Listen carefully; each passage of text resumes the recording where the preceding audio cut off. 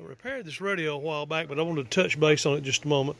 Yaesu uh, FT900. This thing's got a. Uh, uh, you can get on the internet and see lots of uh, people talking about a problem with it.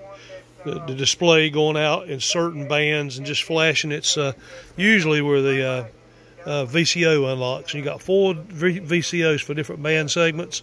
These coils here have steel pins that go through the board, and so over time, those darn steel pins, uh, the solder connection will will fail. So then you got to take uh, unplug a bunch of cables, screws, lift the board up, slide it back to get up under it to uh, resolder those doggone coils. But anyway, it's a beautiful rig, very well made. It's just a little bug. Uh, I've got some old photos I'll add in with this later.